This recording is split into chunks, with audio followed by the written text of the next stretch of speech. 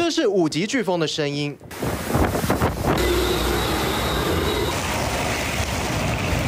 狂风暴雨拍打树叶玻璃窗，光听就能感受到威力有多强大。五级飓风贝罗扫过加勒比海岛国八倍多，最大阵风超过十七级，游客躲在饭店不敢出来。They did ask questions. They asked questions like, "Is it a tornado? Is it a hurricane? Is it a cyclone?"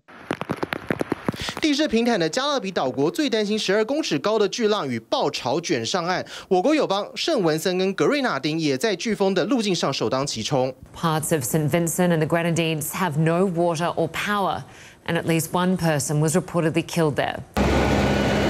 贝罗可怕的不只是陆地上感受到，美国海洋大气总署的追风者飞机飞到飓风上看贝罗，云系扎实，眼墙清晰可见，不愧是打破纪录最早出现的五级飓风。Hurricane Beryl has just reached Category 5 strength, setting a new record for the strongest Atlantic hurricane to make landfall so early in the season.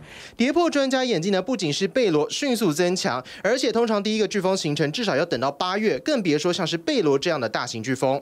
The average date of the first major hurricane on record for any year is September 1st. And this storm really only started about 48 hours ago or so.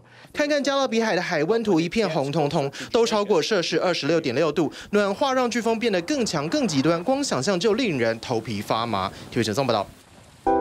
想看最完整的新闻内容，记得下载 TVBS 新闻网 APP。